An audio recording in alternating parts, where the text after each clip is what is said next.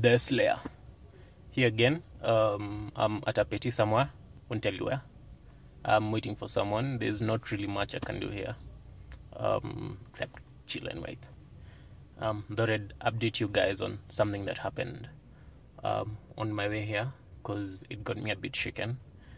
Um, as as I was leaving the office, um, there's this junction exit at Riera Road. Um, guys get a bit cocky when exiting that junction, um, even when the road is not clearly clear, clearly clear uh, on the side that they're going to. They'll still try and exit.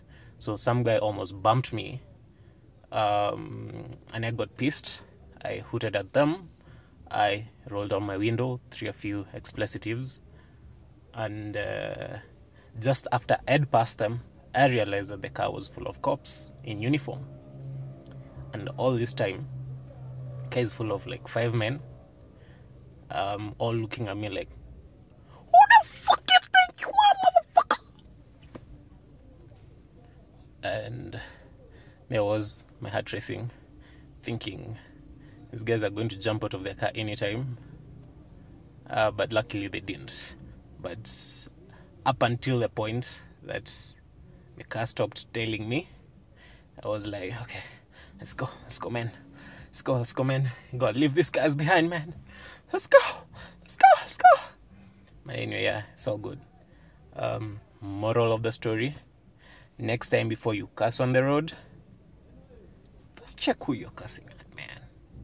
It could get pretty nasty quite fast. You know where to get all the info. I don't need to tell you that. This is the Slayer. Village.oyaore.com. Check it out. Don't be left out. Work one. Have a lovely weekend. I will. I hope you will too. See you Monday.